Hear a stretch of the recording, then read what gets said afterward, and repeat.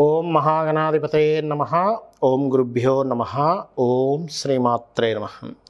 పరమేశ్వర స్వరూపమైనటువంటి జ్యోతిష వాస్తు మరియు ఇతర అనేకమైనటువంటి శాస్త్రములను మనకు అందించినటువంటి మహర్షులకి నమస్కారం. హయగ్రీవ హయగ్రీవ హయగ్రీవేతి యోవదే తస్య నిస్సరతే వాణి జనుకన్యా ప్రవాహవత్. ప్రేక్షకుల నమస్కారం నేను మీ నానాజీ పట్నాయక్. మనం ఈరోజు వాస్తులో వన్ బై వన్ చెప్పుకుంటూ వస్తున్నాం. అందులో మనం నిన్నటి ఎపిసోడ్లో సౌత్ సౌత్ వెస్ట్ అంటే దక్షిణ నైరుతి గురించి చెప్పుకున్నాము. అక్కడ ప- ప్రధానంగా ఏంటంటే మనకి మీకు పదే పదే చెప్తున్నా అయినా సరే మరోసారి చెప్తున్నాను. ఎప్పుడూ కూడా రఫ్గా మాత్రం పొరపాటును కూడా ఇల్లు చూడకండి. రఫ్గా చూస్తే డిగ్రీస్ టిల్ట్ అయిపోయినప్పుడు మీరు ప్లానింగ్ వేసుకోకుండా చక్రం వేసుకోకుండా చేస్తే ఎలా ఉంటుందంటే మనం ఒక డాక్టర్ దగ్గరికి వెళ్ళినప్పుడు నాకు పొట్టలో ఇబ్బంది ఉంది సార్ అంటే గబగబా ఆపరేషన్ చేసేసినట్టే ఉంటుంది. అసలు పొట్టలో స్కాన్ చేసి లేదా ఎక్స్రే చేసి ఎక్స్రే తీసి తెలుసుకోవాలి ఎక్కడ ప్రాబ్లం ఉంది. సరిగ్గా అక్కడే కట్ చేసి ఆపరేషన్ చేస్తే సక్సెస్ అవుతుంది కదా. అలాగే ఎలా అయితే స్కాన్ చేస్తామో ఎలా అయితే ఎక్స్రే తీస్తారో సేమ్ యాజ్ ఇట్ ఈజ్ గృహం కూడా అంతే. నీట్గా ప్లాన్ చేసుకోవాలి డిగ్రీస్ చూసుకోవాలి డివిజన్స్ డివైడ్ చేసుకోవాలి అక్కడ ఏ దేవతా స్వరూపం ఉందో గుర్తించాలి తద్వారా మీరు ఏ ప్రాబ్లంతో ఫేస్ చేస్తున్నారో ఆ ప్రాబ్లం ఏ దిశకు సంబంధించిందో దాన్ని బట్టి మీరు తెలుసుకోవాలి. ఇప్పుడు సౌత్ వెస్ట్లో సౌత్ వెస్ట్ అనేటువంటి దేన్ని అంటారు? అక్కడ దోషమైతే ఎటువంటివి ఏర్పడతాయి అనే విషయాలు మనం చెప్పుకుందాం. ఇప్పుడు ఇక్కడ చూసినట్లయితే నైరుతి భాగము మీ అందరికీ తెలుసు. ఇది తూర్పు భాగం అయితే ఇది పడమర ఇది ఉత్తరము ఇది దక్షిణం అయితే మన ఎడం చేతి పక్క ఉండేటువంటి అంటే తూర్పులో బ్రహ్మస్థానంలో నిలబడితే సూర్యుడి వైపు సూర్యుడు ఉదయించే వైపు నిలబడితే ఎడం భాగం ఉత్తరము కుడి భాగం దక్షిణము అంటే నార్త్ సౌత్. ఈ స ఈ ఇది తూర్పు ఇది పడమర. ఈ సౌత్కి వెస్ట్కి అంటే దక్షిణానికి పడమరకి మధ్య భాగం ఈజ్ సౌత్ వెస్ట్. ఆ సౌత్ వెస్ట్ భాగాన్ని మనం నైరుతి అని అంటాం కదా? ఆ నైరుతి భాగం ఏదైతే ఉందో ఇట్స్ వెరీ క్లియర్ దాన్ని శాస్త్రంలో మనకి మీకు ఒక గమ్మత్తైన విషయం చెప్తాను. మనకి ఇక్కడ అలవాటు అయిపోయి నైరుతిలో మాస్టర్ బెడ్రూమ్స్ కట్టేసుకుంటున్నాం అందరూ కట్టుకుంటున్నట్టే నేను వేసాను అందుకే బొమ్మ. కట్టేసుకుంటున్నాం. కానీ శాస్త్రంలో ఎక్కడ కూడా నైరుతిలోనే మీరు మాస్టర్ బెడ్రూమ్ కట్టుకోవాలి. లేకపోతే దోషము అని ఎక్కడ చెప్పలేదు.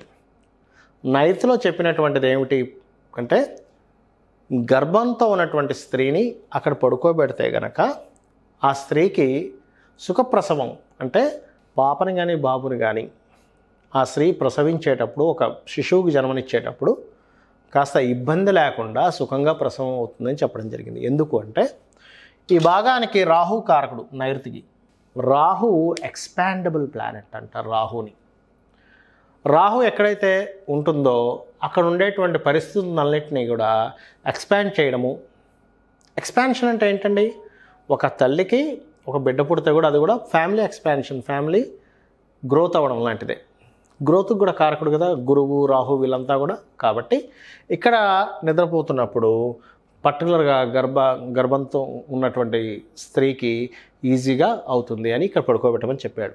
కానీ సర్వసాధారణంగా దక్షిణంలో పడుకోబెట్టమన్నారు. మనందరికీ అలవాటైపోయింది నైరుతిలో బెడ్రూమ్స్ కట్టుకోవడం అనేటువంటిది. ఏంటంటే మెయిన్ పర్సన్ ఉండాలి కదా అంటూ ఉంటారు. కానీ ఇక్కడ ఏంటంటే మెయిన్ పర్సన్ అనేటువంటిది ఇది గృహానికంటే కూడా ఆఫీసులకు పనిచేస్తుంది. ఎందుకంటే సౌత్ వెస్ట్ అనేటువంటిది పర్టికులర్గా మీ యొక్క స్కిల్స్ని అభివృద్ధి పరిచేటువంటి ప్రదేశము. అందుకే శాస్త్రంలో ఎక్కడ కూడా నైరుతిలో బెడ్రూమ్స్ కట్టేసుకోండి అని చెప్పలేదు. అయితే కట్టుకోవడం వల్ల పెద్ద దోషమేం లేదండి ఇక్కడ. ఇదేదో పెద్ద దోషం అని నేను చెప్పట్లేదు మీకు. అయితే నైరుత్యత శస్త్రుగార్ అని చెప్పడం జరిగింది. శస్త్రుగార్ అంటే మీ యొక్క పనిముట్లు ఏవైతే ఉంటాయో మీ స్కిల్స్ ఏవైతే ఉంటాయో దానికి సంబంధించిన వస్తువులు నైరుతిలో పెట్టుకోవాలి.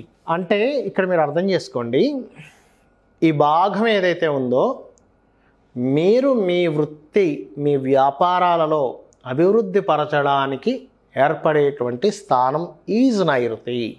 ఆ నైరుతిని మీరు ఏదైనా దోషం చేశారు?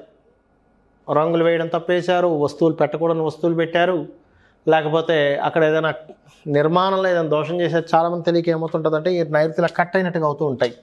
లేదా నైరుతి విపరీతంగా పెరిగిపోతుంటుంది ఏంటండి కట్ అయితే విపరీతంగా పెరిగితే దోషం ఏర్పడుతుంది? కట్ అయిన దోషమే విపరీతంగా పెరిగిన దోషమేనా అంటే నేను మీకు ఒక విషయం చెప్తాను. ఇప్పుడు బీపీ ఉంటుంది మనలో కదా? బీపీ తగ్గినా లో బీపీ అంటున్నాం. మనిషి తిరిగి ఇలాగ అయిపోయినట్టు కింద పడిపోతున్నాడు. బీపీ పెరిగిన హై బీపీ అంటున్నాం. అంటే ఆ బీపీ లెవెల్స్ ఏవైతే ఉన్నాయో నార్మల్ స్టేజ్లో ఉంటేనే మనిషి చాలా బాగుంటాడు.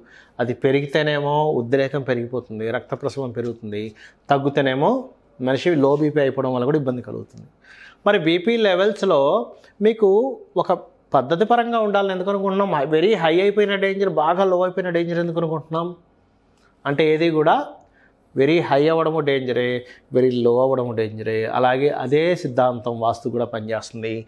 నైరుతి విపరీతంగా పెరిగిపోయిన డేంజరే బాగా లోపలికి వచ్చేసిన డేంజరే ఈక్వల్గా ఉండాలి. ఇదే సిద్ధాంతం చాలామంది తెలియక ఈశాన్యంలో కూడా ఈ పిచ్చి పనులు చేస్తూ ఉంటారు. విపరీతంగా పెంచేస్తారు. అంటే ఎలాగా చూసుకున్నట్లయితే ఏం చేస్తారంటే ఈశాన్యం పెరగడం బాగా మంచిదండి. ఇది తూర్పు ఇది పడమర ఇది ఉత్తరం అది దక్షిణం కదా? తూర్పుకి ఉత్తరానికి మధ్య భాగంలో ఇలా పెంచేస్తారండి. ఇలా విపరీతంగా పెంచేస్తారు. ఫీట్లు ఫీట్లు. పెంచేసి లేదా ఇలా. అంటే ఇక్కడ నుంచి ఇలా వెళ్ళిపోద్ది ఈ భాగం ఇలా పెరిగిపోద్ది. ఏమనంటే ఈశాన్యం పెరిగితే చాలా మంచిదండి అంటారు. కానీ శాస్త్రంలో చెప్పినటువంటిది ఏమిటి? గింజంత ఈశాన్యం. కొంచెం పెంచమన్నాడు గింజంత పెంచమన్నాడు. ఎందుకంటే ఈశాన్యం తగ్గకూడదు కాబట్టి. అలాగా ఈశాన్యం ఎలా అయితే పెరిగితే దోషము? ఎందుకు ఈశాన్యం దగ్గరికి వచ్చి ఎందుకు చెప్తున్నాను? నైరుతి గురించి మాట్లాడుతూ అంటే ఈశాన్యం కూడా పెరగడానికి వీల్లేదు. పిచ్చి పిచ్చికి ఎంత పడితే అంత గింజ అంత పెంచమన్నారు. అలాగే నైరుతిలో కూడా బరువులు పెట్టమన్నారు కదా హైట్ పెంచమన్న అన్నారు కదా అని ఏం చేస్తారు? ఫీట్లు ఫీట్లు పెంచేస్తుంటారు. నైరుతి కూడా ఒక నూలి పోగు అంటే ఒక దారం తీసుకుంటే ఎంత పెరగాలో అంత పెంచమని చెప్పాడు. కొద్దిగా పెంచండి అన్నాడు. మనం పిచ్చి పిచ్చిగా పెంచేస్తాం పిచ్చి పిచ్చిగా లాగేస్తుంటాం. ఆ రకంగా ఈ నైరుతి కూడా తగ్గిన చాలామంది ఏం చేస్తారంటే నైరుతి పెరిగితే దోషం కదండి అందుకే తగ్గించాను అంటాడు. తెలియక. ఏమవుతుంటుందంటే పెరగడాలు తరగడాలు జరిగినప్పుడు మనం ఇది పెరిగింది అని ఆనందపడుతున్నాం కదా ఇక్కడ ఈ పెరగడాలు జరిగినప్పుడు ఇది తగ్గిపోద్ది. వాయుం తగ్గిపోయిందిగా ఇది పెరిగినప్పుడు. అలా కాకుండా దీన్ని ఇలా పెంచామనుకోండి ఇలా పెరుగుతాయి కొంతమంది ఇల్లు అప్పుడు ఆగ్నేయం తగ్గిపోతుంది. ఈ పాట అంతా తగ్గిపోయింది కదా? ఇలా పెరిగితేనేమో ఈ పాట తగ్గిపోతుంది. ఇలా పెరిగితేనేమో ఈ పాట తగ్గిపోతుంది. ఎంతసేపు ఇది పెరిగిందని సంబరపడుతున్నాము ఇంకో పాట తగ్గిపోయిందన్న విషయం మర్చిపోతున్నాం.